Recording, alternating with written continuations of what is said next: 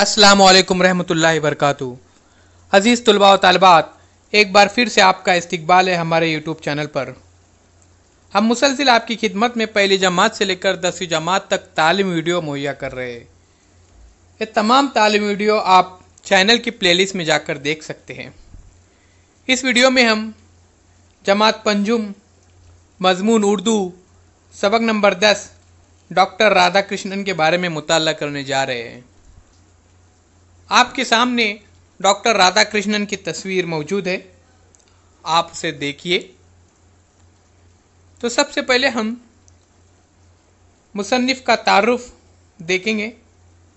इस सबक के मुसन्फ़ है डॉक्टर मोहम्मद असदुल्ला, जिनकी पैदाइश 16 जून सन उन्नीस डॉक्टर मोहम्मद असदुल्ला वरूड ज़िला अमरावती में पैदा हुए, नागपुर में रहते हैं और दर्स व तदरीस से वाबस्ता हैं।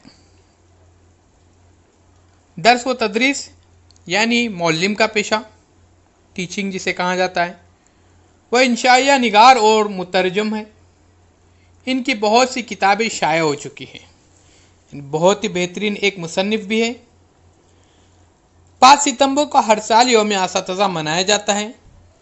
असल में ये तारीख डॉक्टर राधा कृष्णन की तारीख पैदाइश है, जो हमारे मुल्क के दूसरे सदर जमहूरिया हुए हैं। इस सबक में उनकी ज़िंदगी के हालात को दिलचस्प अंदाज में बयान किया गया है।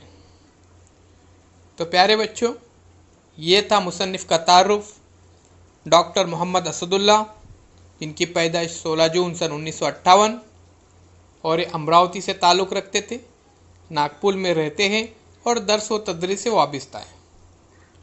आइए इसके बाद हम डॉक्टर राधा कृष्णन के बारे में मुताला करेंगे। जिनकी पैदाइश पाँच सितंबर है। और इन्हीं की पैदाइश के मौके पर हम योम इस के तौर पर मनाते हैं।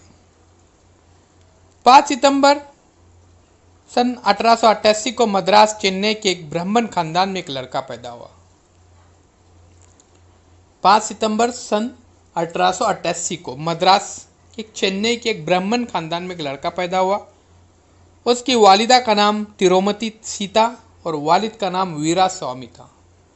यानी, अगर आपको इम्तिहान में ये सवाल आए कि डॉक्टर राधा कृष्णन के वालिद और वालिदा का नाम बताइए तो वालिदा का नाम है तिरुमती सीता और वालिद का नाम वीरा स्वामी था। माँ बाप ने इस बच्चे का नाम राधा कृष्णन रखा। बड़े होकर राधा कृष्णन एक अजीम फलसफी और माहिर तालीम के तौर पर मशहूर हुए। आगे चलकर वो मुल्क के सदर भी बने। तो प्यारे बच्चों, एक ब्राह्मण खानदान में एक छोटा सा लड़का पैदा होता है, जिसका नाम राधा कृष्णन रखा जाता है। और यही बच्चा आगे चलकर एक अजीम फ़लसफ़ी और माहिर तालीम के तौर पर मशहूर होते हैं और साथ साथ आगे चलकर मुल्क के सदर भी बनते हैं। इब्तदाई तालीम मुकम्मल करने के बाद राधा कृष्णन को मिशन स्कूल में दाखिल किया गया। अपनी जहानत के सबब वो इम्तिहान में अच्छे नंबरात हासिल कर लिया करते थे। बचपन ही से काफ़ी जहीन थे, जिसकी वजह से उन्हें अच्छे नंबरात इम्तहान में मिल जाते थे। उन्होंने आला तालीम वेलोर और चेन्नई के कॉलेजों में मुकम्मल की। सन 1908 में फ़लसफ़े में एमए का इम्तहान पास करके वो प्रेसिडेंसी कॉलेज चेन्नई में प्रोफेसर बन गए। एमए यानी मास्टर ऑफ़ आर्ट्स। ये बीए के बाद दो साल का कोर्स होता है। इसे एमए कहा जाता है मास्टर ऑफ़ आर्ट्स तो ये मुकम्मल करने के बाद वो प्रेसिडेंसी कॉलेज चेन्नई में प्रोफेसर बन जाते हैं। अपनी काबिलियत, सादा मिजाजी और मिलनसारी से तलबा के दिल को जीत लेते थे। जब इनका तबादला मैसूर से कलकत्ता हुआ तो अलविदा कहने के लिए तलबा ने इन्हें एक रथ पर सवार किया और उसे खींचते हुए रेलवे स्टेशन तक ले गए। डॉक्टर राधा कृष्णन ने अपने शागिर्दों की इस अकीदत और मोहब्बत से बहुत मुतासर हुए अब, प्यारे बच्चों जहाँ पे ये मुलाजिमत करते थे, मुलाजिमत के बाद, मुलाजिमत के दौरान ही इनका एक जगह से दूसरे जगह पर तबादला हो जाता है। तो ऐसे मौके पर तलबा बहुत गमगीन हो जाते हैं, मायूस हो जाते हैं, क्योंकि एक अच्छा उस्ताद वो खोने वाले हैं। इसी मौके पर वो क्या करते, अपने उस्ताद को अलविदा कहने के लिए तुलबा ने इन्हें एक रथ पर सवार किया और उसे खींचते हुए रेलवे स्टेशन तक ले गए। डॉक्टर राधाकृष्णन अपने शागिर्दों की इस अकीदत और मोहब्बत से बहुत मुतासर हुए। डॉक्टर राधाकृष्णन एक कामयाब मुदसर थे, एक कामयाब मुदर्रिस थे और मुसनफ़ी राधाकृष्णन एक बहुत ही बेहतरीन मुदर्रिस और मुसनफ़ भी थे, यानी साथ साथ वो किताबें लिखते थे। इनके तसानीफ और मुरतब की हुई किताबों की तादाद डेढ़ सौ से ज़्यादा, यानी एक सौ पचास से ज़्यादा इन्होंने किताबें लिखे हैं।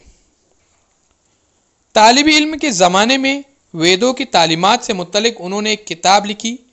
उस वक्त सिर्फ़ 20 बरस के थे। 20 बरस के जब ये थे, तब उन्होंने एक किताब लिखी थी, जो काफ़ी मशहूर हुई उस किताब को काफ़ी पसंद किया गया था।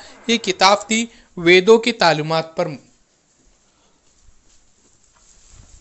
जब आप तालब इल्म थे, तालब इल्म के दौरान ही उन्होंने ये किताब लिखे थे। उस वक्त वो सिर्फ़ 20 बरस के थे। उनकी ये किताब बहुत मशहूर हुई, जिसे पढ़कर राधा कृष्णन के प्रोफेसर ने इन्हें एक सनद दी थी। यह उनके लिए एक बड़ा एजाज था। उनकी एक और किताब इंडियन फिलोसफी दुनिया भर में मशहूर हुई। पूरे दुनिया में उनकी एक और किताब मशहूर होती है। इसका नाम है इंडियन फिलोसफी। इसी बुनियाद पर उन्हें ऑक्सफोर्ड यूनिवर्सिटी में मधु किया गया। अपनी तालीमी लियाकत की वजह से सन उन्नीस सौ बावन में वो इस यूनिवर्सिटी के एजाज़ी फ़ेलो बनाए गए। इनके अंदर बहुत ही काबिलियत थी। काबिलियत की बिना पर इनको यूनिवर्सिटी एजाज़ी फ़ेलो बनाती है, यानी जिसे एजाज़ी तौर पर किसी इदारे का रुकन बनाया गया हो। वो पहले हिंदुस्तानी थे, जिन्हें ये एजाज़ हासिल हुआ। डॉक्टर राधाकृष्णन एक जादू बयान मुकर्र थे।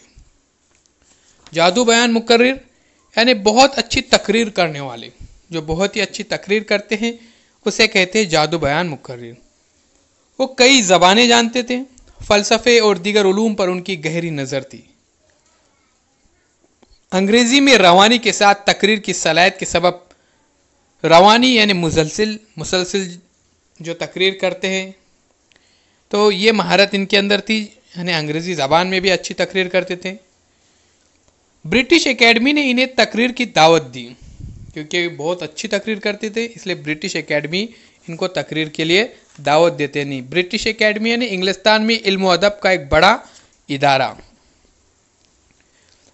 हुकूमत हिंद की जानब से, इन्हें सन उन्नीस में हिंदुस्तान के सबसे बड़े एजाज़ भारत रत्न से सरफराज किया गया। सरफराज करना यानी नवाजना। सन उन्नीस में भारत रत्न का अवार्ड दिया गया, जो हिंदुस्तान का सबसे बड़ा अवार्ड माना जाता है।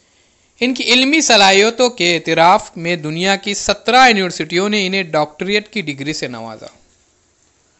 डॉक्टरेट यानी किसी इल्म में महारत की वजह से दी जाने वाली सनत, सर्टिफिकेट, उसे कहा जाता है डॉक्टरियत तो इनके इल्म के मरतबे को देखते हुए दुनिया के मशहूर सत्रह यूनिवर्सिटियों ने इन्हें डॉक्टरेट की डिग्री से नवाजा। साथ ही साथ ब्रिटिश एकेडमी ने भी इन्हें तकरीर की दावत दी थी, क्योंकि बहुत ही असर अंगेज तकरीर करते थे और अंग्रेज़ी ज़बान में भी रवानी के साथ तकरीर करने की इनके अंदर महारत थी। आइए इसके बाद प्यारे बच्चों, अगला पैराग्राफ देखते हैं। डॉक्टर राधा कृष्णन ने अपनी सारी ज़िंदगी इल्म खिदमात के लिए वफ़ कर दी। वफ़ कर देना यानी कुर्बान कर देना। इन्हें अपने पेशे पर बड़ा नाज था। इनका पेशा कौन सा था? बिल्कुल सही आपने पहचाना। इनका पेशा था टीचिंग का, मुदर्रिस का, दर्स और तदरीस का। वो फ़क्र से कहा करते थे, मैं एक मुदर्रिस हूँ। उनकी ख्वाहिश थी कि उनकी पैदाइश के दिन को योम इस के तौर पर मनाया जाए। इनकी इस ख्वाहिश के एहतराम में हमारे मुल्क में पाँच सितंबर सन उन्नीस से योम इस मनाया जाता है। ये भी सवाल आपको इम्तिहान में पूछा जा सकता है तो ध्यान में रखिए। पाँच सितंबर, डॉक्टर राधाकृष्णन की पैदाइश का दिन, इनकी ख्वाहिश के मुताबिक योम इस के तौर पर इस दिन को मनाया जाता है। और ये पाँच सितंबर उन्नीस सौ बासठ से ये दिन मनाया जा रहा है। इस मौके पर मरकजी और रियासती हुकूमतें, जैसे मरकज, यानी जो दहली के अंदर हुकूमत होती है, और रियासत यानी जैसे अलग अलग रियासतें हमारे महाराष्ट्र के सतह पर अलग रियासतें तो महाराष्ट्र की हुकूमत हुई। तो इस तरह से महाराष्ट्र की हुकूमत, यानी रियासती हुकूमत तो अलग अलग रियासती के तौर पर और मरकज़ी तौर पर हुकूमतें मिसाली मुदरसिन का इंतखब करती है और उन्हें इनामत से नवाजती है। अच्छे मुदरसिन का इंतखब करती है और उन्हें इनामत से नवाजा जाता है। आइडियल टीचर जिसको कहा जाता है पंडित जवाहरलाल नेहरू ने राधा कृष्णन की तालीमी लियाकत और आला काबिलियत के पेश नज़र इन्हें रूस का सफ़ीर मुकर किया था। अब यहाँ पे ध्यान में रखिए, सफ़ीर यानी हुकूमत की तरफ़ से किसी दूसरे मुल्क में मुकर किया हुआ नुमाइंदा। उसे कहा जाता है सफ़ीर। जब वो रूस पहुँचे तो वहाँ के सदर स्टॉलिन खुद उनसे मुलाकात के लिए आए स्टॉलिन डॉक्टर राधाकृष्णन की शख्सियत से बहुत मुतासर हुए एक मरतबा अपने मुल्क रूस की तरक्की को फख्र से बयान करते हुए स्टॉलिन ने उनसे कहा था, साइंस की तरक्की की बुनियाद पर हमारा मुल्क आज आपको यह सिखा सकता है कि मछलियों की तरह समंदर में कैसे तैरा जाए और परिंदों की तरह आसमां में कैसे उड़ा जाए। अब ये तमाम बातें स्टॉलिन बता रहे हैं। जो रूस के सदर हैं, कि हमारे मुल्क ने बहुत सारी तरक्की की है, वो आपको बता सकते हैं कि तरक्की की बुनियाद पर हमारा मुल्क आपको सिखा सकता है कि मछलियों की तरह समंदर में कैसे तैरा जाए और परिंदों की तरह आसमान में कैसे उड़ा जाए। तमाम बातें राधा कृष्ण ने सुनते हैं और बड़े इत्मीनान के साथ जवाब देते हैं। तो देखते प्यारे बच्चों, क्या कहते हैं? राधा कृष्णन ने जवाब दिया और हमारा मुल्क आपको ये सिखा सकता है कि इंसानों की तरह ज़मी पर कैसे चला जाए। बिल्कुल, क्या बहुत ही प्यारी बात कही इन्होंने कि इंसानों की तरह ज़मी पर कैसे चला जाए। डॉक्टर राधा कृष्णन रूस से रुखसत होने लगे तो सदर स्टॉलिन रात के एक बजे उनसे मिलने आए। तो तमाम बातें ये रूस में हुए हैं। जब पंडित जवाहरलाल नेहरू ने राधा कृष्णन की तालीमी लियाकत और आला काबिलियत के पेश नज़र उन्हें रूस का सफ़ीर मुकर किया था। जब वो रूस पहुँचे तो वहाँ के सदर स्टॉलिन खुद उनसे मुलाकात के लिए आए। स्टॉलिन डॉक्टर राधा कृष्णन की शख्सियत से बहुत मुतासर हुए। एक मरतबा अपने मुल्क रूस की तरक्की को फ़ख्र से बयान करते हुए स्टॉलिन ने उनसे कहा था कि साइंस की तरक्की बुनियाद पर हमारा मुल्क आपको ये सिखा सकता है कि मछलियों की तरह समंदर में कैसे तैरा जाए और परिंदों की तरह आसमान में कैसे उड़ा जाए। राधा कृष्णन ने जवाब दिया, और हमारा मुल्क आपको ये सिखा सकता है कि इंसानों की तरह ज़मी पर कैसे चला जाए। आइए इसके बाद हम देखते हैं, जब आप रुखसत होते हैं उस दौरान, रूस के तमाम अफसर और अवाम स्टॉलिन से हमेशा खौफ ज़दा रहते थे। खौफ ज़दा होना यानी डरना। और हमेशा उनसे दूर रहने की कोशिश किया करते थे। इस मुलाकात के दौरान डॉक्टर राधा कृष्णन ने बड़ी शफकत और मोहब्बत से स्टॉलिन के सर पर हाथ फेरा और पीठ को थपथपाया तो उनकी जबान पर से बेसख्ता या अल्फाज आए। आप पहले शख्स है जो मेरे साथ एक इंसान का बर्ताव कर रहे और मुझे कोई भूत या जालिम नहीं समझ रहे। ये कौन कह रहा है? बिल्कुल, ये रूस के सदर स्टॉलिन कह रहे डॉक्टर राधाकृष्णन आज़ाद हिंदुस्तान के नायब सदर के अहदे पर दो बार मुंतखब हुए। सन उन्नीस सौ बासठ में उन्हें मुल्क का सदर बनाया गया। सदारत के अहदे की मुद्दत पूरी होने के बाद और मुस्तकिल तौर पर चेन्नई में रहने लगे थे। 17 अप्रैल सन 1975 को दिल की हरकत बंद हो जाने से उनका इंतकाल हो गया। तो प्यारे बच्चों, इनका इंतकाल हो जाता है 17 अप्रैल सन 1975 को। दिल की हरकत बंद हो जाती है, जिसकी वजह से उनका इंतकाल हो जाता है। और इनकी पैदाइश हुई थी पाँच सितंबर सन अठारह सौ अट्ठासी को मद्रास, चेन्नई के एक ब्राह्मण खानदान में। और उनकी वफात 17 अप्रैल 1975 को होती है, दिल की हरकत बंद होने की वजह से।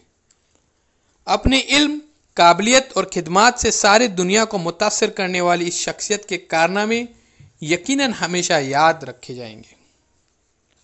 प्यारे बच्चों, आज भी